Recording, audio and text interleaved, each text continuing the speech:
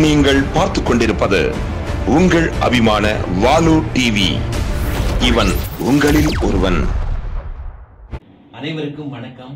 நான் நிரஞ்சன் பாரதி மகாகவி பாரதியாரின் எழுப்பேரன் கவிஞன் திரைப்பட பாடலாசிரியர் ஆயிரத்தி தொள்ளாயிரத்தி ஐந்தாம் ஆண்டுல அன்றைய பிரிட்டிஷ் அரசாங்கம் வங்காள மாநிலத்தை ரெண்டா உடைச்சது. இது நாடு முழுக்க பெரும் கொந்தளிப்பை உண்டாக்கியது. ஆனா அதே சமயத்துல வந்தே மாதரம் என்கின்ற அந்த ரெண்டு வார்த்தைகள் எல்லா இந்தியர்களையும் ஒன்றிணைச்சு ஆங்கிலேயர்களுக்கு எதிராக போராட வச்சது. வங்க எழுத்தாளர் பங்கிம் சந்திர சாட்டர்ஜி எழுதிய ஆனந்தமடம் என்கின்ற நாவலில் தான் வந்தே மாதரம் என்கின்ற அந்த வார்த்தைகள் இடம்பெற்றிருக்கக்கூடிய பாடல் வருகிறது.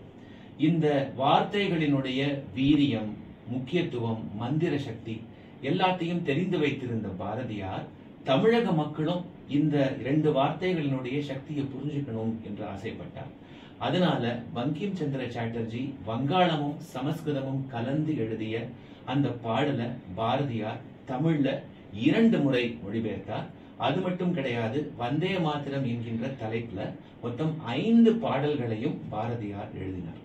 ஏன் இந்த பாடலை பாரதியார் ரெண்டு முறை மொழிபெயர்த்தார்?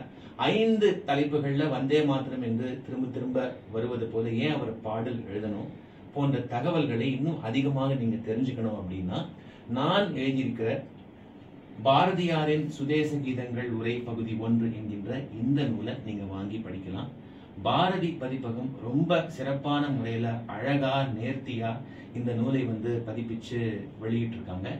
வாங்கி படித்து உங்களுடைய கருத்துக்களை எங்களிடத்துல நீங்க அனுப்புங்க. நன்றி.